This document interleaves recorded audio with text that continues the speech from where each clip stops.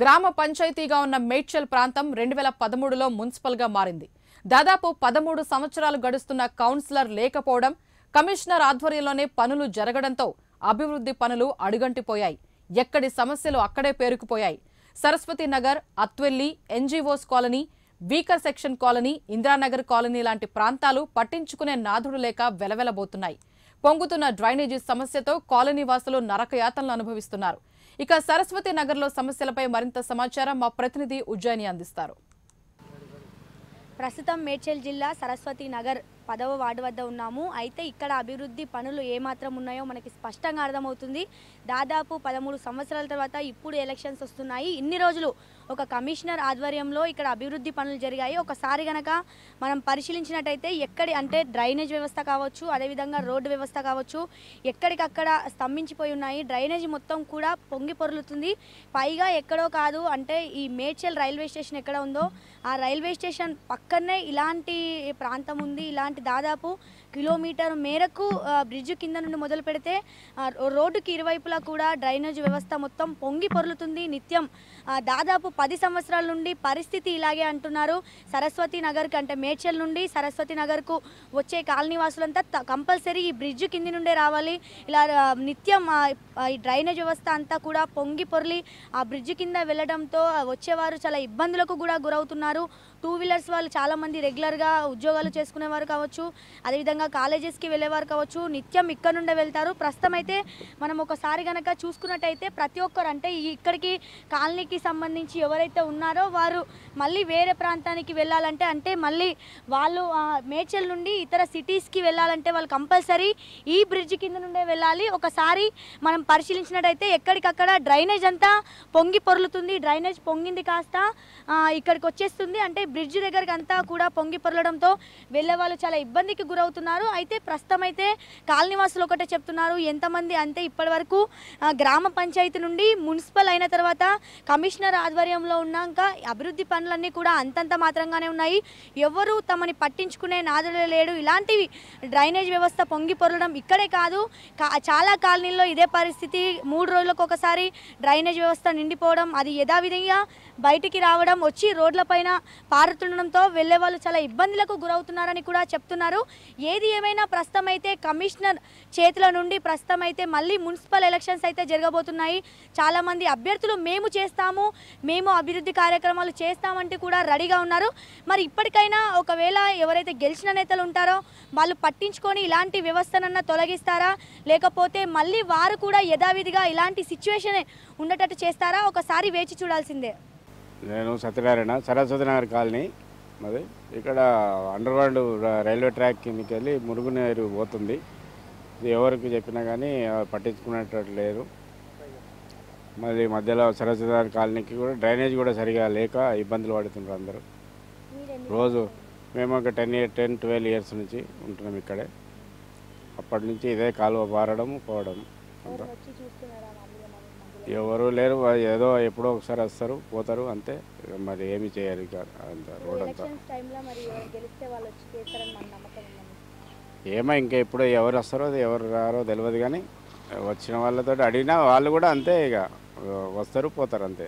చూస్తారు పోతారు. ఎవరు పట్టించుకున్నా శాశ్వత పరిష్కారం శాశ్వత పరిష్కారం అండర్ గ్రౌండ్ డ్రైనేజ్ బ్రిడ్జ్ వేసుకుంటే బాగుంటుందని మా ఆలోచన.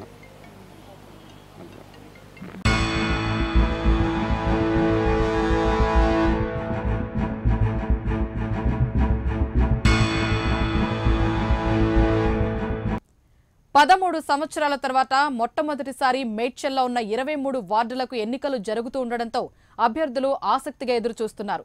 కౌన్సిలర్ ఎన్నికలు కాస్త రాష్ట్ర ఎన్నికలను తలపించేలా పోటీగా మారాయి. సవాల్ ప్రతి సవాల్ విసురుతూ అభ్యర్థులు సిద్ధమవుతున్నారు. టీఆర్ఎస్ పార్టీ ఎన్నో సంక్షేమ పథకాలను పెట్టడంతో ప్రజలు తమనే ఎన్నుకుంటారని పార్టీ నేతలు చెప్తున్నారు. ఈ సంవత్సరం టీఆర్ఎస్ పార్టీ మహిళలకు పెద్దపీట వేయటం హర్షదాయకం అంటున్న టీఆర్ఎస్ లీడర్ రామకృష్ణతో మా ప్రతినిధి ఉజ్జయిని ఫేస్ టు ఫేస్. ప్రస్తుతం మేడ్చల్ నియోజకవర్గం దగ్గర ఉన్నాము. అయితే ఇక్కడ ఎన్నికలు జరిగి దాదాపు పదమూడు సంవత్సరాలు అవస్తుంది. ఇన్నాళ్ళు కమిషనర్ ఆధ్వర్యంలో ఎన్నిక ఇక్కడ పనులు జరగడంతో అభివృద్ధి పనులు చాలా తక్కువగా ఉన్నాయని కూడా ప్రజలు చెప్తున్నారు. అయితే దాదాపు ఇన్ని సంవత్సరాల తర్వాత ఇప్పుడు ఎలక్షన్స్ వస్తున్నాయి. మళ్ళీ అభ్యర్థులు ప్రతి ఒక్కరు కూడా ఆసక్తిగా పోటీ చేయడానికి సిద్ధపడుతున్నారు. మరి ఈ అభ్యర్థులు ఆల్రెడీ చేరుకున్నారు నామినేషన్లు వేశారు ఎలక్షన్లకు సిద్ధంగా ఉన్నారు. మరి ఈ సంవత్సరం ఎలాంటి అభివృద్ధి పనులు చేస్తారు? అసలు ఏ ఏరియాల్లో వాళ్ళు అబ్జర్వ్ చేశారు? ఎలాంటి అంటే ప్రజలు వాళ్ళని ఎలా స్వీకరిస్తున్నారు?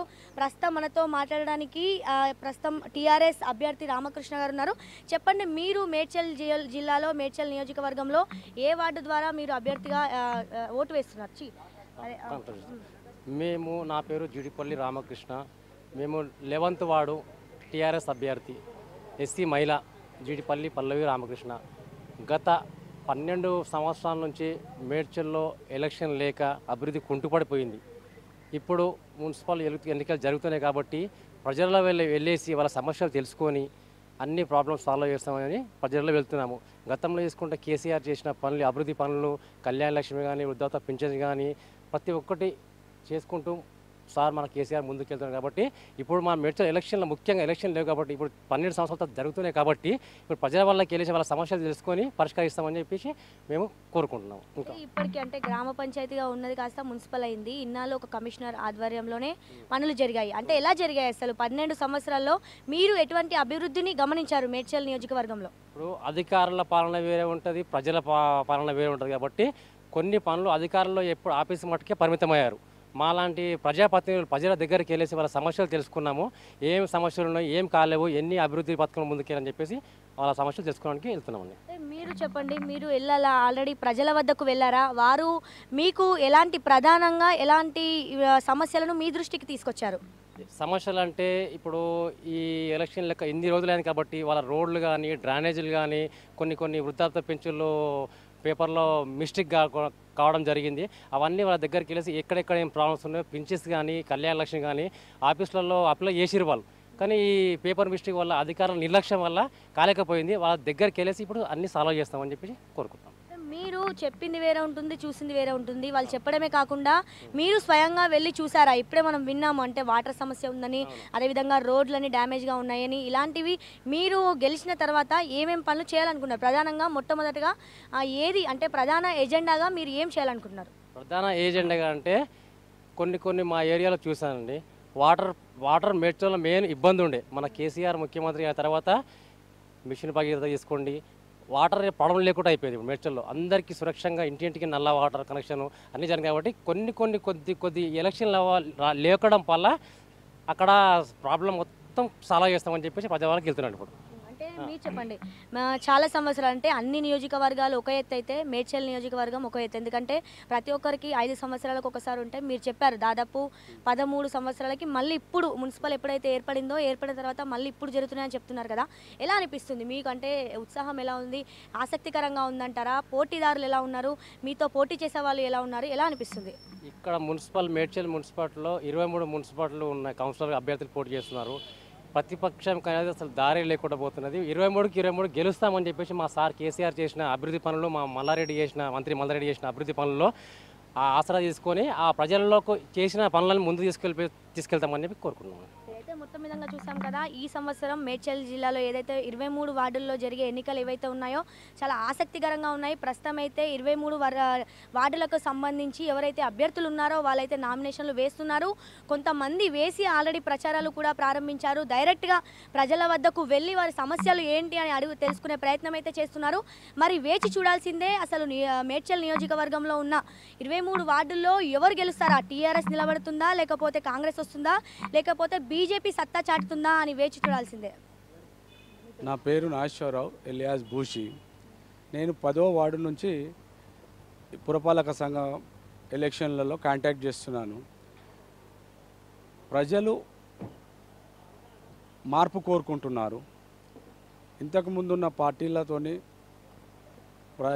పరిపాల పరిపా పరిపాలిస్తున్న పార్టీతోని ఇంకా కాంగ్రెస్ పార్టీ మార్పు ప్రజలు మార్పు కోరుకుంటున్నారు. ఈసారి కాంగ్రెస్ పార్టీకి ఓటేసి కాంగ్రెస్ పార్టీ నిలబడ్డ వార్డు నంబర్లని జీతిపించుకోవడానికి ప్రజలంతా సిద్ధంగా ఉన్నారు.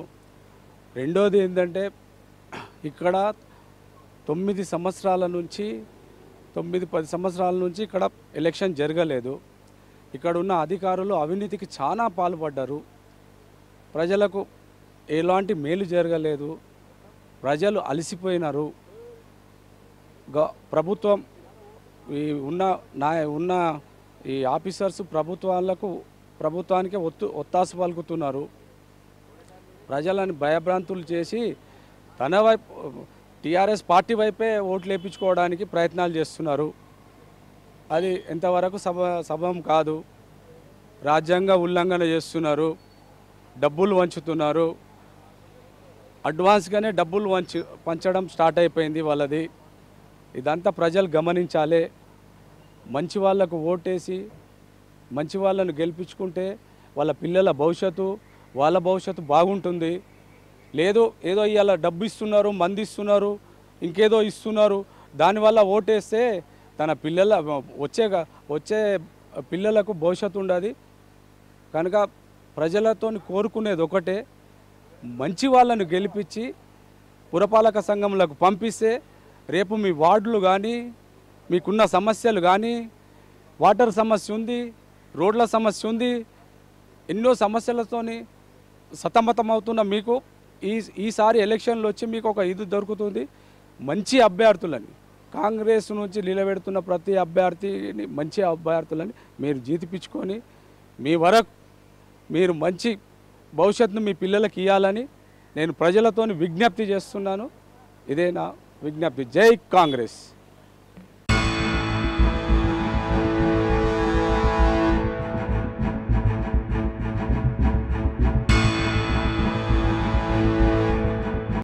మేడ్చల్ పట్టణంలో పైన పటారం లోన లొటారంలా మారింది. మెయిన్ రోడ్డు వద్ద పెద్ద తారు రోడ్లు స్ట్రీట్ లైట్లు దర్శనమిస్తే లోపలికి వెళ్తున్న కొద్దీ అసలు సమస్యలు బయటపడుతున్నాయి. గిరిజన బస్తీ లాంటి ప్రాంతాల్లో రోడ్లు లైట్లు లేక ప్రజలు తీవ్ర ఇబ్బందులకు గురవుతున్నారు.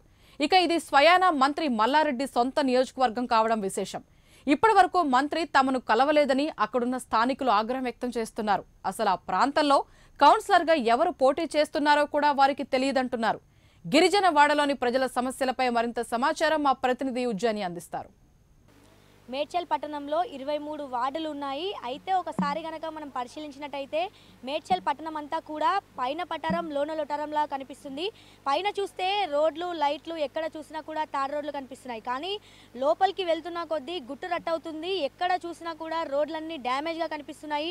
చాలా ప్రాంతాల్లో డ్రైనేజ్ సిస్టమ్ అంతా పొంగి పొరులుతుంది. ప్రస్తుతం అయితే మనం వార్డ్ నెంబర్ సిక్స్త్ అండ్ సెవెంత్లో ఉన్నాము.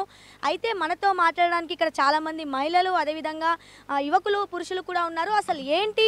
దాదాపు ఇక్కడ పన్నెండు సంవత్సరాల నుండి ఎలక్షన్స్ జరగలేదు. ప్రస్తుతం అయితే మున్సిపల్ ఎలక్షన్లు దగ్గరకు వస్తున్నాయి మరి వాళ్ళకి ఎటువంటి కోరికలు ఉన్నాయి అసలు వాళ్ళ ఏరియాలో ఎలాంటి సమస్యలు ఉన్నాయి ఎవరైనా అధికారులు వచ్చారా? అసలు ఇప్పటి వరకు వాళ్ళని పట్టించుకున్నారా?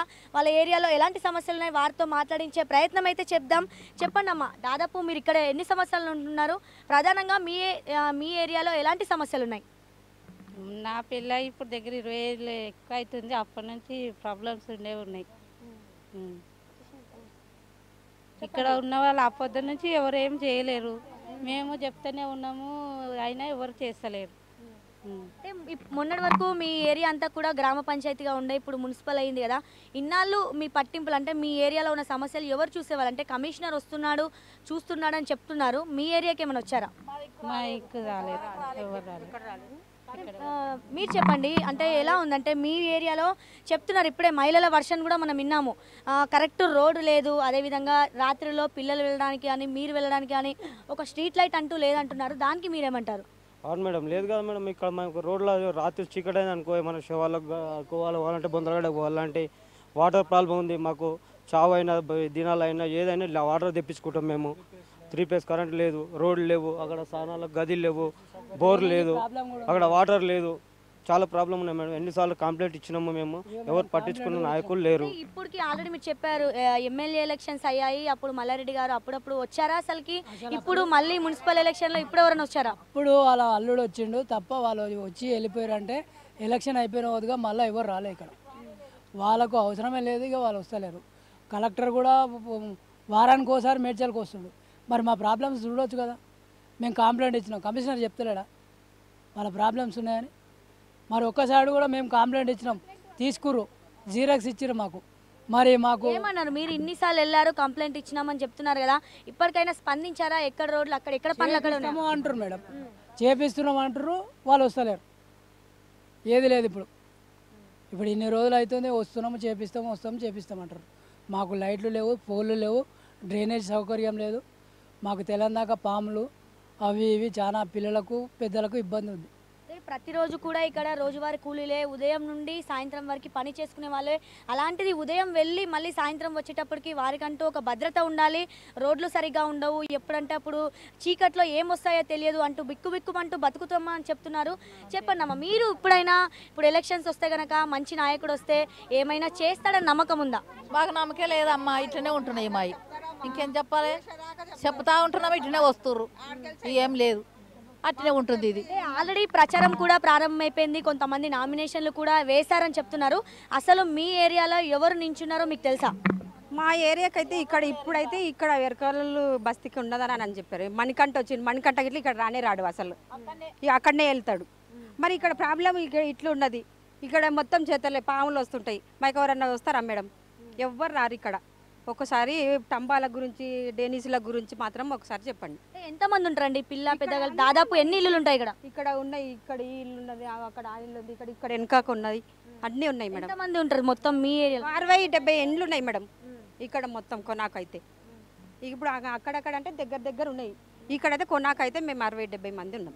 మీరు చెప్పండి ప్రధానంగా మీకు ఏం కావాలి? మీరు ఏ మీ ప్లేస్లో అంటే మీరున్న ఏరియాలో మీకు ఎలాంటి ఫెసిలిటీస్ కావాలనుకుంటున్నారు? అంతా బాత్రూమ్లు నీళ్ళు బోర్ వేయాలి అన్ని సవలతు రోడ్డు ఉండాలి. అన్ని సవలతు ఉండాలి లైట్లు ఉండాలి. చీకట్లు ఎట్లా ఉంటారు మేడం? తెలుసు కదా మరి పబ్లిక్ అక్కడ ఎట్లా వేస్తారు ఇక్కడ ఎట్లా ఉన్నది? అయితే చూస్తున్నాం కదా మహిళలు అదేవిధంగా చాలా ఆవేదన వ్యక్తం చేస్తున్నారు. దాదాపు పది నుండి పదిహేను సంవత్సరాల నుండి మేము ఇక్కడే ఉంటున్నాము. ప్రతి నాయకుడు అటు సైడ్ వస్తారు మేడ్చల్ డిపో సైడ్ వస్తారు. మిగతా ప్రాంతాల్లో తిరుగుతారు కానీ మా ఏరియాకి ఇప్పటి వరకు ఒక్కరు కూడా రాలేదు. అసలు ఎలాంటి సమస్యలు ఉన్నాయి అంటూ ఒక్కరు కూడా వచ్చి అడగలేదని చెప్తున్నారు. చెప్పండి ఎలా ఉందండి? అంటే మీరు ఇప్పుడైనా వస్తారు దాదాపు అంటే ఇప్పుడు మున్సిపల్ ఎన్నికలకైనా కౌన్సిలర్ని ఎన్నుకోవాలి కాబట్టి వాళ్ళ కోసమైనా వస్తారు కదా మీరు ఎలాంటి డిమాండ్స్ అడుగుతారు? మేడం ఇక్కడ రోడ్లు లేవు డ్యానేజ్ కరెక్ట్ లేదు ఆ, మశానంకు వస్తారు చూస్తారు వెళ్ళిపోతారు వాళ్ళు. ఇప్పుడు అవి పన్నెండేళ్ళ అది కట్టి అది అట్లనే ఉంది. ప్రా చాలా ప్రాబ్లం ఉంది. మేము ఎలక్షన్ టైంకే వస్తారు వాళ్ళు.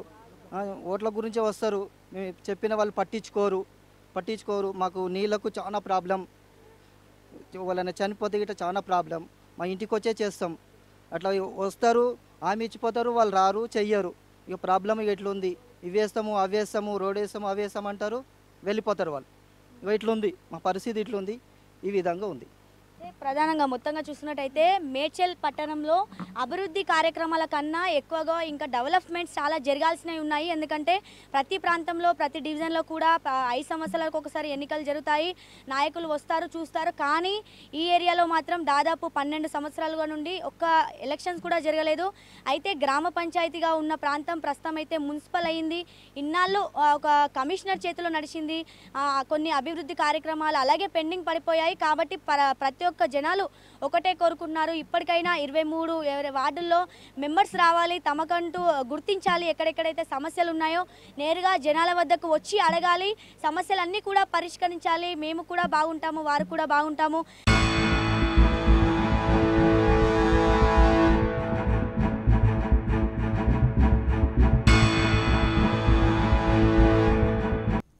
మొత్తంగా పదమూడు సంవత్సరాలకు జరిగే మేడ్చల్ మున్సిపల్ ఎన్నికలు ప్రజల సమస్యలు తీరుస్తాయా? లేకపోతే మరింత రెట్టింపు చేస్తాయా? వేచి చూడాల్సిందే. ఏది ఏమైనా అభివృద్ధి తక్కువ సమస్యలు ఎక్కువగా ఉన్న మేడ్చల్ నియోజకవర్గంలో పదమూడు సంవత్సరాల తర్వాత మున్సిపల్ ఎలక్షన్స్ వస్తున్నాయి. దీంతో ప్రతి ఒక్కరి దృష్టి మేడ్చల్ మీదనే పడింది. అదేవిధంగా ఇక్కడ ఎన్నికలు కూడా ఎంతో రసవత్తంగా మారనున్నాయి. ఈసారి ఎన్నుకున్న నాయకుడైనా మరి అభివృద్ధి పనులు చేపడతాడా? లేకపోతే యథావిధిగా ఇప్పుడున్న సిస్టమ్నే కొనసాగిస్తాడా? వేచి చూడాల్సిందే. ఇది ఇవాల్టి ground report. Camera person యశ్వంత్తో Ujjaini prime nine news Hyderabad. ఇది ఇవాల్టి special drive. Keep watching prime nine news.